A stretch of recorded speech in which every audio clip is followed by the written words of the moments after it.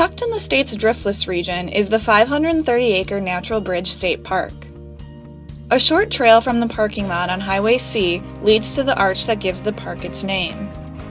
Wind, water, and erosion have chipped away at the sandstone here, creating this beautiful 35 foot natural bridge. Under the bridge is a shallow cave that archaeologists believe was home to native people nearly 12,000 years ago, making it one of the earliest inhabited sites in the state. Aside from the arch, the park features four miles of moderate hiking trails that travel through mostly hardwood forest and past a small prairie. A short trail spur just east of the bridge offers great views of the surrounding Baraboo Hills, while the Whitetail Hiking Trail on the south side of Highway C winds up and down a ridge. Although small, Natural Bridge is not nearly as busy as Devil's Lake about 30 miles to the north, making this state park a great spot for a nice, quiet trip to see where nature and history meet.